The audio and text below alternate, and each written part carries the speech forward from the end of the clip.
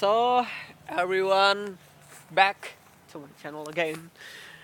It's very very warm out here, you know. As always I using this arm. it's warm. It's warm, warm, warm and always been warm in Indonesia as always.